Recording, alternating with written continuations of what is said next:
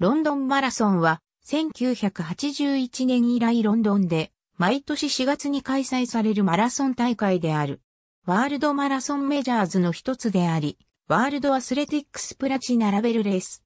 通常の大会とは異なり巨大なスポーツの祭典となっている点が特色である。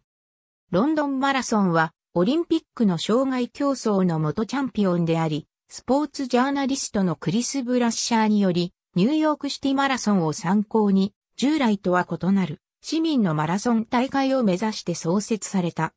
第1回大会は1981年3月29日に開催され、7747人が参加し、完走者は6255人であった。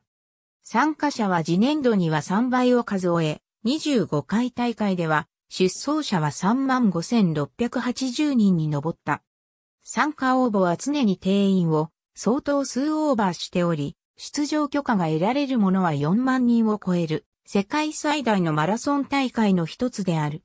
2020は新型肺炎影響で10月に延期。また東京マラソン2020同様エリートのみの限定開催予定。コースはグリーニッジパークからカティーサーク、ターブリッジ、ドックランズ、イーストエンド、ロンドン島、バッキンガム宮殿、ザ・マルへと抜ける。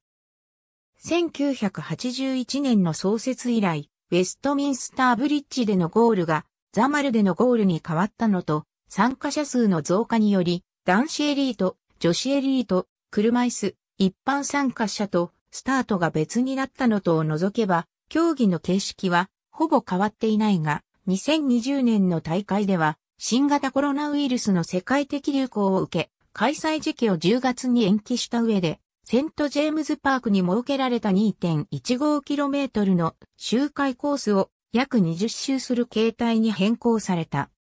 後半な使命を歌うロンドンマラソンの参加者は、車椅子競技者、エリート競技者、80歳を超えるベテランなど多様である。チャリティのためのスポンサー付きランナーも積極的に呼び込んでおり、個人による寄付、マラソンの収益の残り、スポンサーからの収益などがロンドンマラソンチャリティ基金を通じて非営利団体に寄付される。多額の賞金でエリート選手を引きつける真剣な競技大会であると、同時に純粋にイベントを楽しむファンランナーが仮装して参加する姿も見られる。2003年4月19日には、元ボクサーのマイケル・ワトソンが対戦6日後にマラソンを完走したことで、イングラングの英雄となった。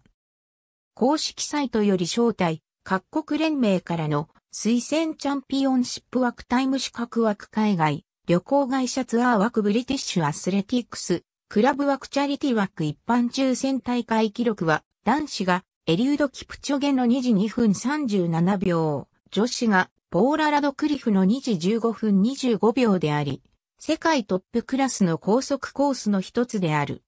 太字は世界記録、太字は大会記録、引く数字マイナスは優勝回数。